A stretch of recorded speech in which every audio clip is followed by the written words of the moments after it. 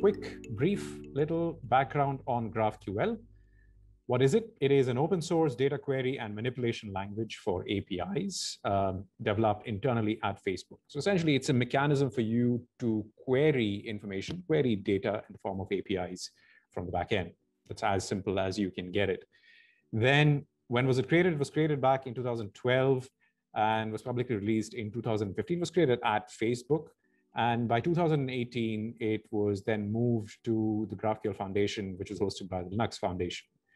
And I think if you go next to how it how does it work, it essentially allows for clients to define the structure of data required, and the same data is then returned from the server. It essentially enables um, users to essentially query specific information that they need um, after that has been defined into the, the schema of, um, of GraphQL. Schema essentially is a blueprint of the data model that uh, pertains to the backend of the solution. So that's sort of how it actually works. And more importantly, I think probably the most important part is why was it actually created? So it was created back in 2012, 2015, because uh, Facebook was moving into the space of multi-platform applications, the omni-channel applications, and they did not want to have, uh, they did not want to create different API endpoints or REST API endpoints for each individual platform that they were going to be creating, because then if they wanted to add something in the future, then it was again going to be yet another endpoint that needed to be done. Moreover, those endpoints weren't exactly flexible by themselves. Therefore, the same endpoint could not be used across all of these platforms. If you were to look at an example, for instance, if you were to think about a weather application, then the kind of information that you would be looking at, at on your desktop or on your web page is probably going to be a lot more extensive compared to what you might be actually experiencing or receiving in your mobile application and perhaps even further less if you're going to be using something like a wearable device. So for all of these different requirements, you might need different kinds of data and using the same endpoint would mean essentially um, using too much information or in some cases too little information, which again is not ideal, which is why the alternative to that is using specific API endpoints to uh, address the needs of each individual platform. But then there can be, there might not be any end to that because you are then looking at multiple possibilities or multiple platforms coming up in the future. So to enable that flexibility, um, it was create, GraphQL came into existence to create flexible omni-channel applications by enabling fetching of the exact data that was required by each of these platforms without the need to create multiple endpoints. So that was sort of how or why GraphQL sort of came into existence. Then what kind of operations does it actually support? GraphQL supports uh, querying, which is essentially reading or requesting for data. It supports mutations or what's called writing of data. It is, and finally, it is capable of subscribing or subscriptions to changes in data. Now, for the first two, if you really look at REST APIs, essentially, if you think about uh, your gets, that's essentially what queries can be. Again, it's not a necessity because you can re request information using POST, not best practice, but it can do that. But effectively get maps to query and mutation essentially, which is changing or manipulation of data. That is all to do with something like post or patch or put or delete. Those kind of um, activities essentially can be uh, essentially similar to mutations in GraphQL. So just as a brief rundown, today we are going to be looking at queries alone. We are not going to be going into mutations. We are not going to be going into subscriptions. Uh, if you are interested though, however, do um, leave a comment or send us an email because uh, we'll be happy to do a separate webinar addressing those capabilities uh, in the future. So moving right along, let's talk about a few different challenges um, for enterprises and challenges with adoption of GraphQL as well. So let's start with the very first one, which is essentially uh, cost of migration.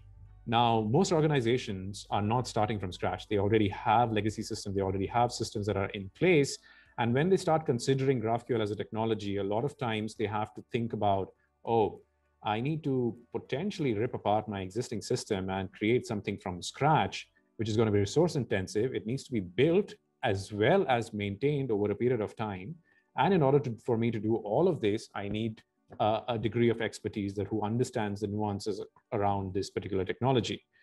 Um, so that obviously translates into uh, resources both from human capital developers as well as overall costs involved in, in development and maintenance. So that is one of the key uh, challenges in organizations who might have a potential use case, but um, are hesitant in adopting GraphQL. One of the other challenges within an organization, a modern organization, is that they're dealing with data from multiple data sources. And this is because organizations today are having to deal with not just internal APIs where which are coming from different microservices, but they're also having to integrate from with external endpoints because there is just such so many different services systems that an organization needs to work with. Moreover, there might be existing systems that already are doing some of these mappings, and those might be much more hard coded or hard earned into baked into the existing system.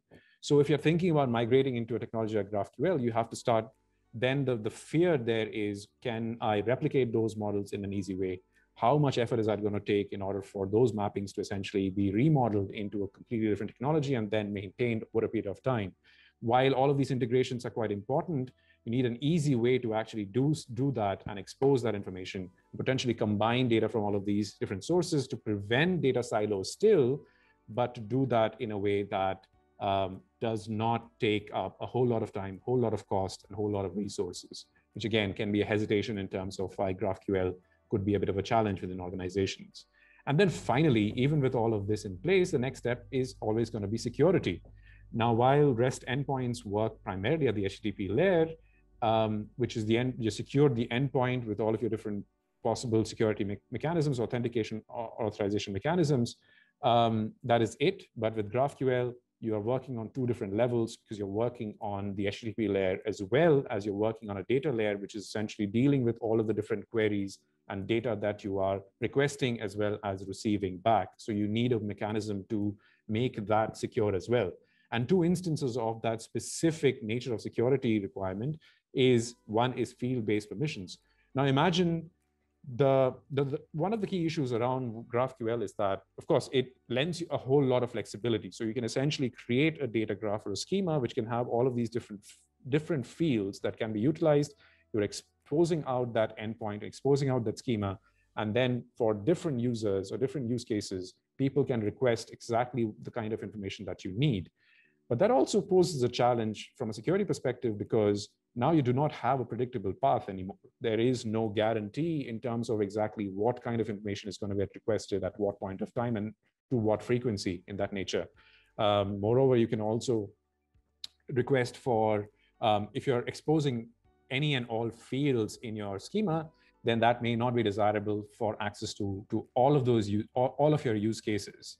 Um, a case in point, for instance, could be that if you have two different use cases for your data graph where you need, you want to make some information for a user perhaps. So if a user has information like ID, email, username, address, um, you want to make this information available, but not everyone should have access to the user's email ID or address because that could be, that is confidential information.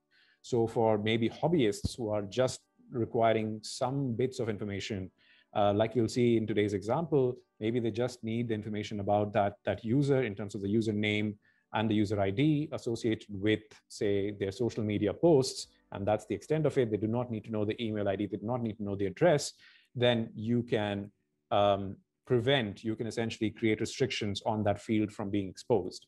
While at the same time, if you wanted to expose that field out for maybe some specific kind of use case where you know you're looking at analytics information that requires that email ID or requires that uh, address because you're look, doing um, location-based an analysis in, in some form or fashion, and you want to expose that data um, to that specific, specific kind of user, then you can do that. So field-based permission can essentially help you um, sort out those, those different permission requirements, as opposed to you having to create, um, again, specific schemas or specific GraphQL endpoints to meet each of those requirements.